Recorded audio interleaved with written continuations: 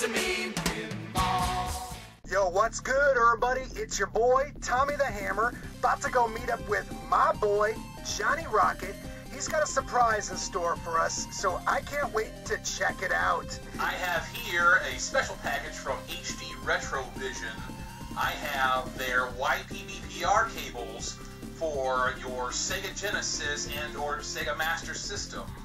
Because I do have a Master System and a Gen 1 Genesis console, I also got the adapter cable that adapts their cable for the Gen 2 system, which it is actually designed for to fit the original Gen 1 console and the Master System with their old school round, like 270 degree 9 pin pattern, Huh. 8 pin pattern, whatever it is, 8 pin pattern. Eight pin pattern. And uh, yeah, I've been chomping at the bit to this get this guy, and it actually showed up pretty fast. I can give props to these guys. I had, I think I ordered it Wednesday, and it's here today.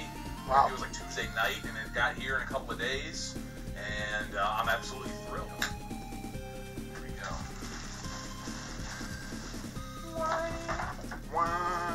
So, HD Retrovision, bringing retro gaming into the high definition era. Let's see, complete my order in full, I've got my cables here. And it looks like that's, yes, that is the Gen 2, Gen 3 plug. And then here is the adapter, one of each. So, pack and ship perfectly, fellas. So Heck far, yeah. so good. We're one for one. So this is like a custom type of cord thing. Yeah, yeah, they designed these specifically to uh, plug into hopefully just about any TV that can support YPBPR. I suggest before you run out and buy these cables thinking, sweet, I'm going to be able to see my awesome 16-bit or 8-bit systems in full HD color, perform the test, hdretrovision.com, look for the 240p test, make sure your stuff is compatible. Mine, I actually got mixed results, but I was in contact with the company and it was like, hey, I was getting this result, and they said, well, maybe will, maybe it won't. Hmm. Shot in the dark. Shot in the dark, spin the wheel at your own risk. and if worse comes to worst, you can always get a YPBPR to VGA converter.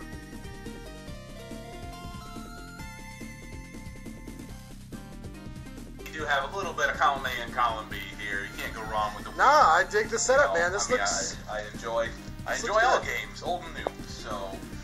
We are. This is my humble setup. It's not nearly as elaborate as some of our friends. Tip of the hat to the dreaded drunken gamer and his amazing setup here. Oh, yeah. But this is actually under his direction. He said, "Hey, maybe you should check this out. If you're not trying to drop a jillion dollars like I did, check out HD Retrovision because these cables look pretty sweet." What are you doing?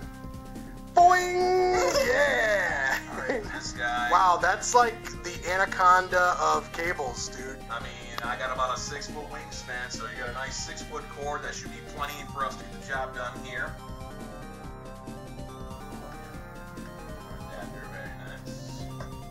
Nice. Hopefully, I didn't just blow up my TV.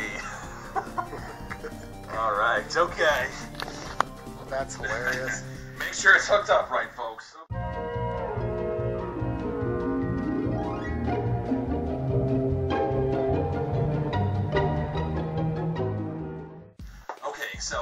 First time around failed with the HD Retrovision cables. The TV just was whacking out, and I'm not sure whether it was the fact that I didn't get a positive test result from the 240p test, or if it was me accidentally swapping the green and blue plugs in my haste to get it together in my excitement.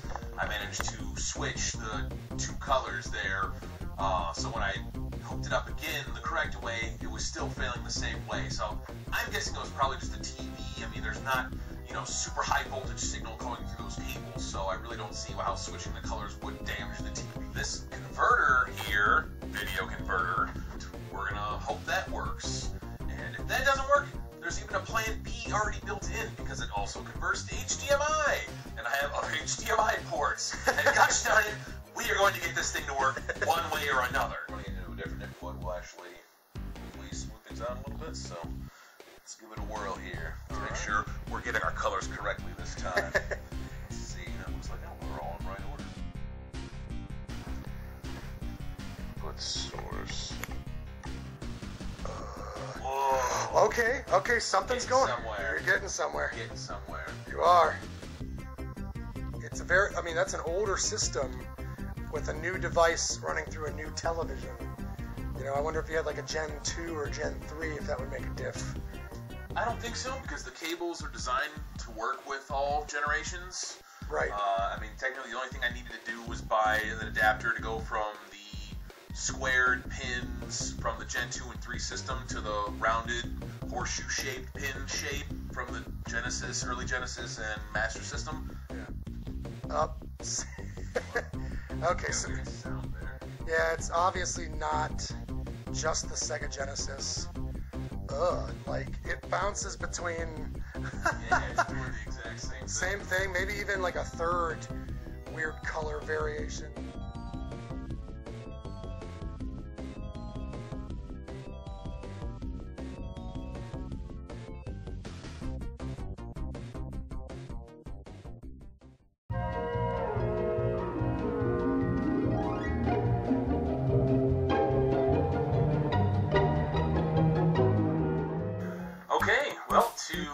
Recap of how we got to where we are right now, um, when I first got the HD Retrovision cords, I went to plug them straight into my TV's YPBPR inputs, thinking it should work right. YPBPR cord, and here's the inputs. Well, it didn't work at all. I got no picture, I got no sound.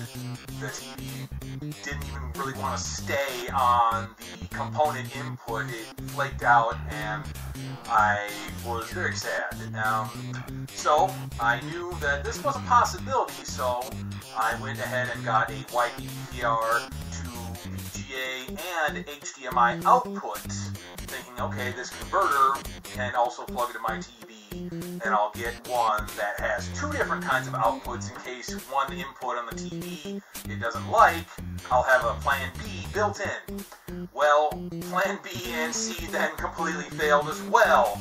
I got absolutely nothing from the VGA. It said uh, something along the lines of input not recognized. Uh, one thing I will point out is that this monoprice brand, the model LKB-7600, is the exact model you want to get. If you are following the route I am uh, going on here, definitely get this one because they do make a couple of different versions of these with slightly different model numbers. Be sure to get this one because it was recommended to me by the HD Retrovision manufacturer, and I would not stray from that.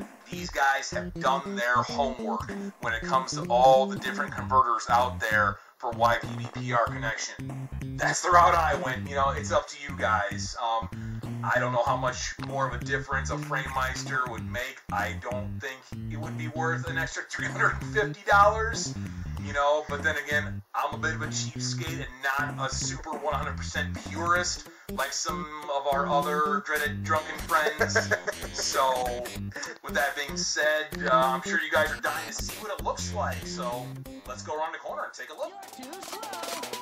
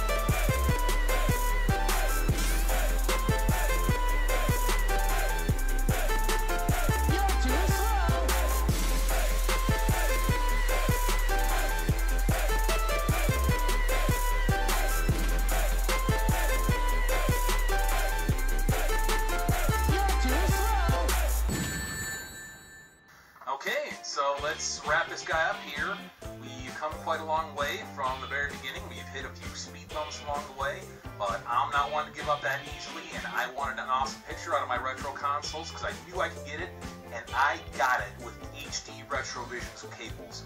I would highly recommend them to anyone who's looking to upscale their picture on their retro consoles. Just check out their website, hdretrovision.com, and you'll see all the consoles that they make cords for. There's plenty. I just got the one, of course, for my Sega Genesis. Also works with my Master System. That's what I got, so that's what's good for me. They also, I know, do at least Super Nintendo and a few for old PlayStation consoles, uh, PlayStations 2 and 3 at least, I believe.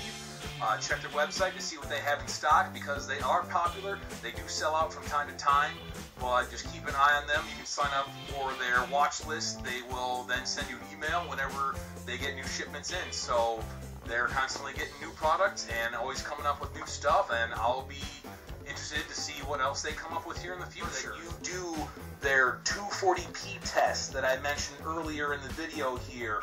That is very important. As long as you take those steps and are in contact with them, they will help you out as much as they can along the way before you go ahead and take the plunge and buy the cables. So, that's it here from the west side of K Town. Thanks for sticking around, everybody. All right, John, thanks for showing us everything. Uh, My it's- pleasure. It's been an amazing couple of weeks, and uh, until next time, guys, tune in again.